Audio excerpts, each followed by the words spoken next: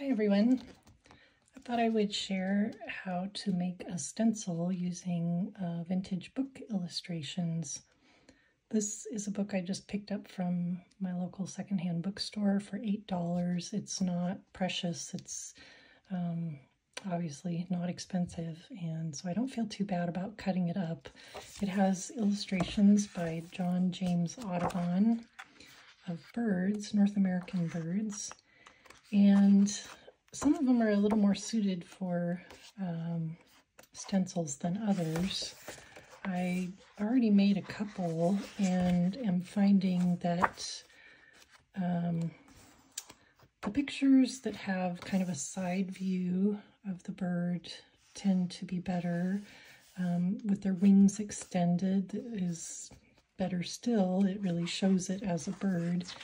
It's a little hard to get um, the detail in a very small illustration like this one. So a slightly bigger picture is good. This one might be a little too big, but he may be perfect for, um, you know, a larger scale uh, compared to a smaller scale. And then, you know, some of them just have kind of odd postures that I'm not thrilled about and probably won't use or there's um, some that are like eating eating dead animals and things. or they are dead. Anyway, uh, I picked one that I think will work well for my purposes, and I'm going to show you. It's this one, the Roseate Tern and it has, you know, very defined outline and you can see the beak. So I'm just going to cut it out of the book, the whole page.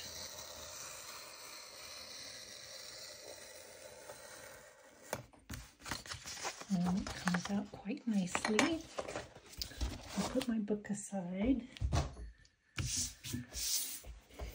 And then I'm going to use uh, this peel and stick. It's a, think it's made for covering um, cupboard shelves. And I bought it at Walmart. Um, it's made by Duck Brand. And you may have something similar where you live. So I'm just going to lay it over the top and cut a sheet that is the right size to cover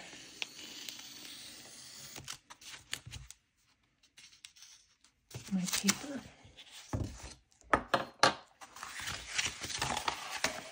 And then you gotta get the sticky and the paper to separate. I'll set this aside for just a minute. Sorry, my cat's in the background with her jingly little bell.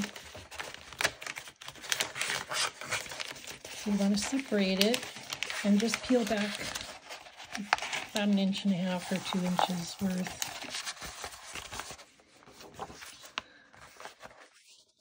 And you're going to place it over your paper,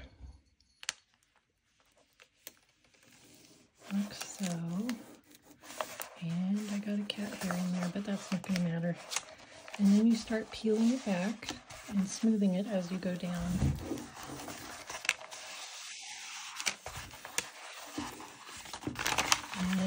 bubbles, it does actually peel back. I kind of got a weird spot in there. So I just want to redo that so I don't have bubbles. And peel it slowly and just keep applying it.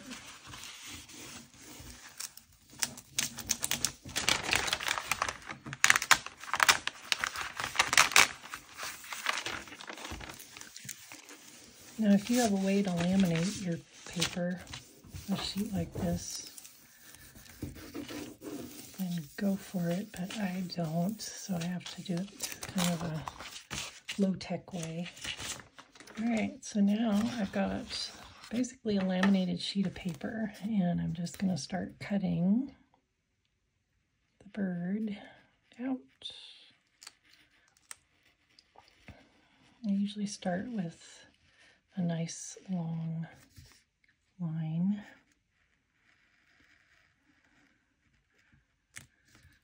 Now he's got his tongue sticking out and I don't think that I'm going to be able to do that level of detail so I'm just going to cut kind of right through it and turn it into his beak.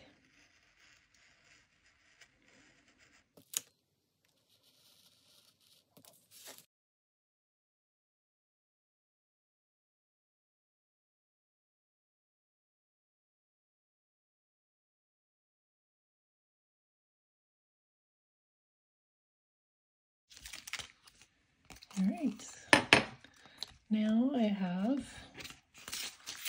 a stencil of a roseate tern. I'm not sure I'm pronouncing that correctly.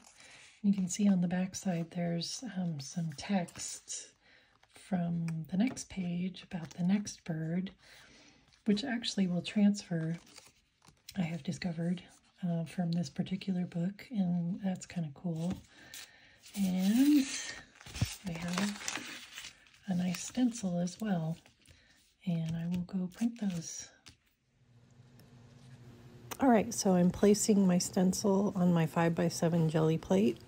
And you will see in a minute one of the reasons why I uh, laminated this with the peel and stick.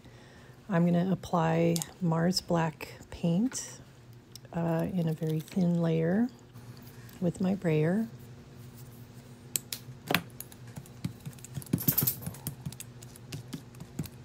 Right through the opening of the stencil. Uh, you have to work it in a little bit to get the, the beak because it's such a fine line.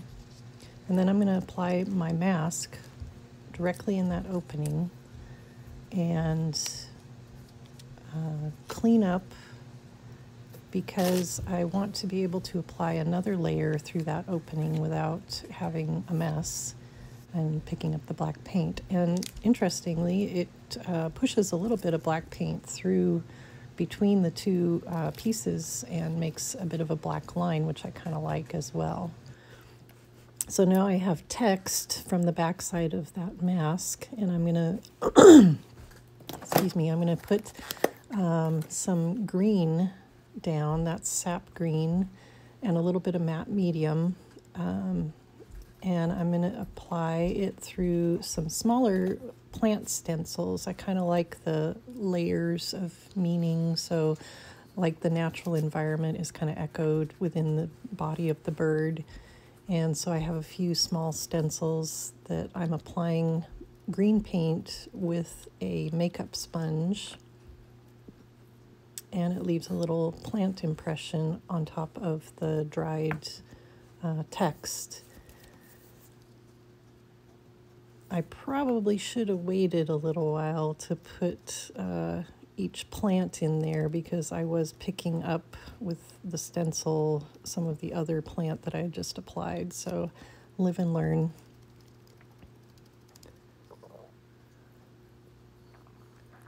And just a little bit in the back end, we got uh, plants that I think might be native to the bird's environment. I let all that dry and then I use cobalt teal to roll through the stencil over the dried um, text and plants. And initially I had put some matte medium with it, but cobalt teal is actually a very transparent uh, pigment as it is, and I felt like it was just, excuse me, a little too thin uh, to show off the bird. So one way to check that is uh, once you get your paint in there, you can pick up the whole shebang and look at it through the window like I'm doing right here. And I could see that it was just too thin, not enough pigment, so I added some more.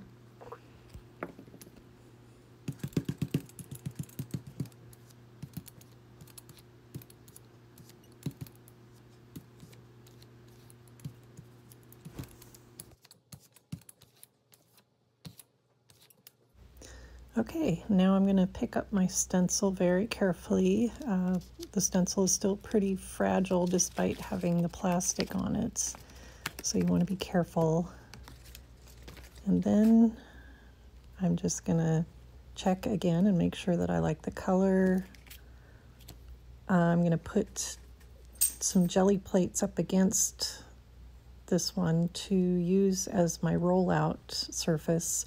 And I've got um, Pyrrole Orange on the right and matte medium in the middle and then cadmium yellow dark on the left. And I'm just kind of doing a little blend at each side and extending it so that it makes the uh, rainbow roll a little easier.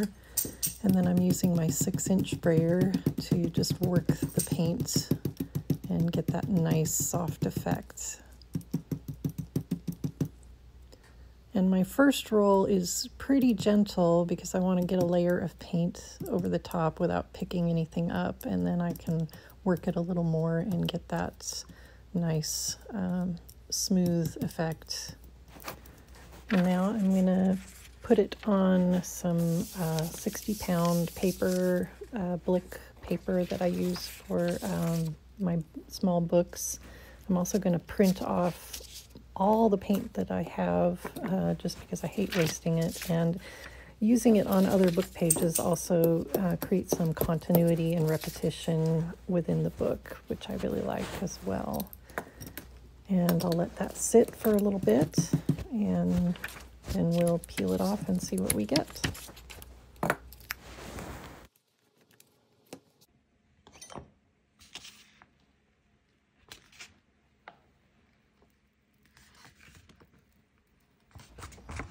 Now we have our final bird prints. If you like this video, please like and subscribe. I plan to make more of these longer videos.